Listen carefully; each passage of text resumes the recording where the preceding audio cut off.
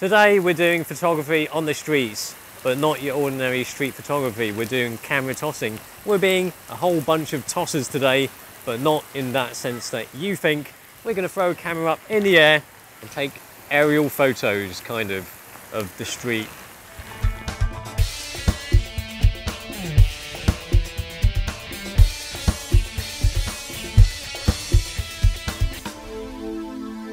So as you can see, it's raining just a little bit.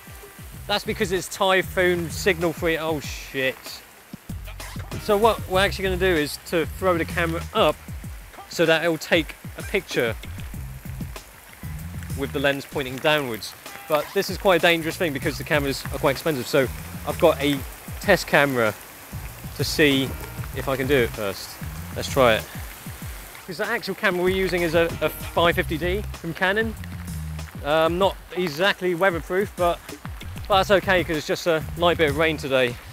So basically, I've got to put on a timer, but this, this is a dummy, you know, just in case you're thinking, you know, that doesn't look like a camera. I've put on timer and then up. The theory is that by tossing the camera up in the air will bring a whole new perspective to the world of photography, especially when you realise how much you miss your camera when it has been smashed to pieces and you can only take photos in your imagination. Shit.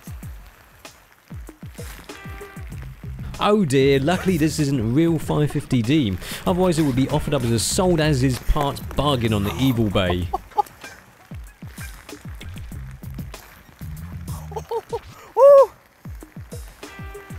That hurts. Well, obviously you can't see anything so there's no point me showing you, but um, that hurts. Momentarily got distracted by the fact that I was on a basketball court. Whoa, there you go, she's out. Bang. After a few minutes of practice I was ready to throw a few hundred quid's worth of camera in the air, but will I catch it? The only way to find out is to try it with the real deal. Now let's get the real deal out. Self timer, I think two seconds, then I'll, I'll throw it up.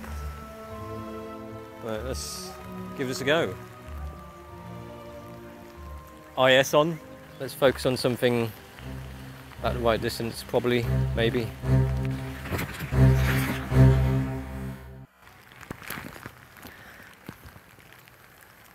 Oh, that's that's uh, that's a bit white. That's all white.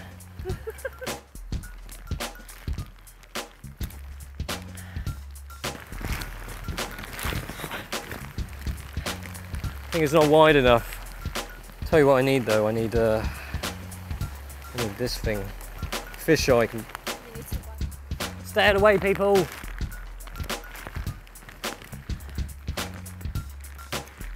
The basketball court wasn't too exciting, so I headed to another not so interesting location, but with potential of losing the camera in the sea.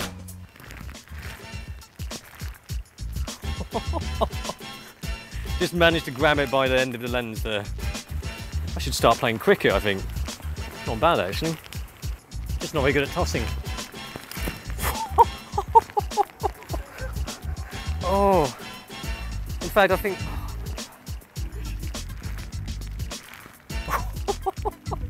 oh, why didn't we just do street photography? Bloody hell. I moved to another location also by the sea.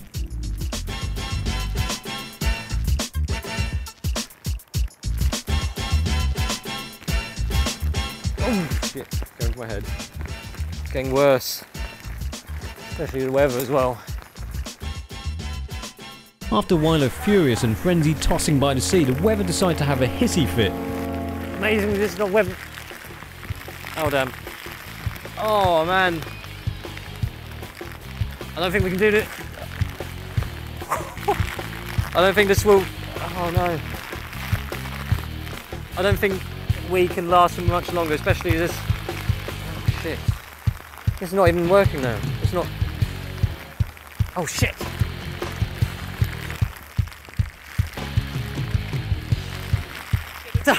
I think we have to go. This is this is crazy. It's not hailing, but it feels like hail. See the homeless of Hong Kong. Perfect time for them. Free shower and a drink. Oh! This is like windsurfing, only that we're not fucking surfing. Fucking fuckers shit.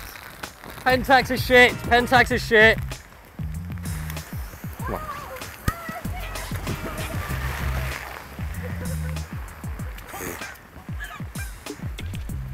So that's it. That's it, kids. The conditions were worsening, and then the Typhoon Signal 8 was raised, which basically means people going to the safe your home because it's bloody windy. Or for surfers, it's surfing time. Well, we picked the former. The weather that day was completely ridiculous, so we came back today. And just look, these used to be trees. Now they're just pretending to be bushes. Uh, pretentious bastards. Apparently, it was quite a strong typhoon, Signal 10, which means sustained wind speeds of over 118 kilometers per hour. We were at home though, so we didn't really get to see the damage until today. Now, why do I have a different camera? I've got D7000. This has got self-timer, obviously, but it can take a number of shots, more than one shot. I picked eight shots, and you can pick the, the time in between each shot, which is nice. The D7000 seemed to be the perfect choice for this tossing. I used a cheap lens that I didn't mind breaking, but it turns out that it had a oh. bit of a problem. Shit! I've broken the lens. I mean, I haven't broken, I just caught it. Hang on, it's not focusing. Oh, it's because the focusing ring doesn't move.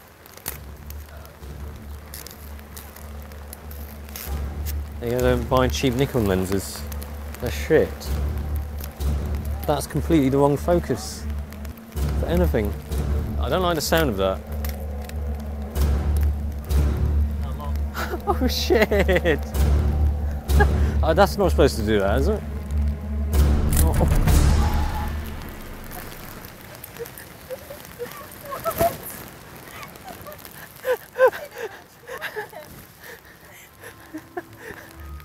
What? That is unbelievable, and it's not even broken by the water, the rain. It's. Do you think we can fix it? Great. What other camera do I have? A Lok's Olympus EP1. it actually still works, just not when it's put together.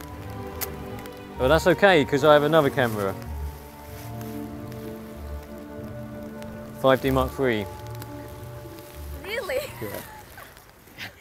Oh, so that's funny, isn't it? So we started off with 550D, bang, that didn't work. D7000, then the lens snapped. So there's only one way to go, and it's to go um, a little bit more expensive, progressively more expensive. We've got the 5D Mark III and a 24mm f2.8 prime. So let's chuck this up, and hopefully this doesn't break or, you know, somehow fail, because we'll have to go for Hasselblad next. At the time, there's no, you can't shoot more than one frame. Maybe about that distance.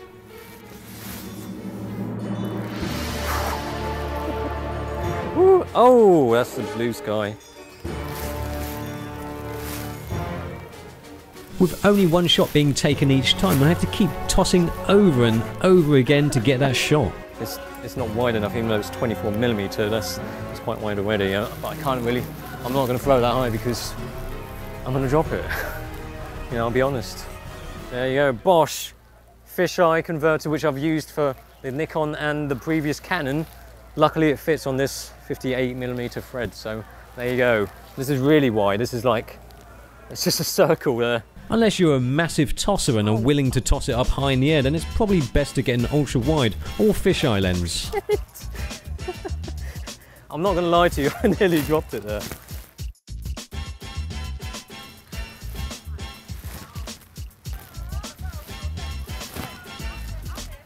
What a brilliant way of taking self-portraits. Why didn't I think of this before? Mind you, with a fisheye you could just do it like that.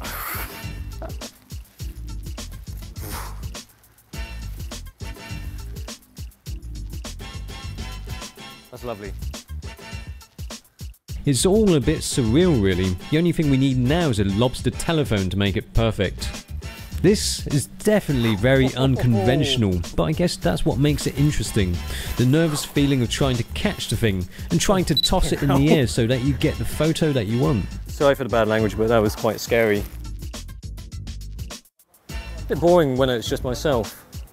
When you two come in, where are you going, Alamby?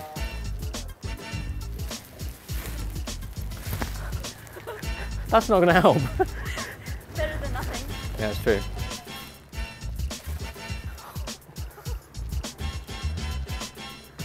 Almost that I wasn't in it.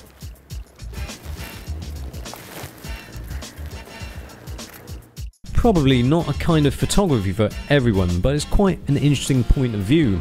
Almost like a bird's eye point of view. Well, a bird that is doing a low fly swoop to dash ahead with its poo pebbles.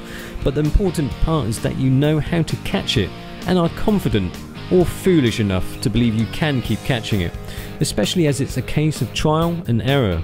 It does seem like more of a sport than photography, but at least you can get some interesting looking photos. Just don't use the 5D Mark III.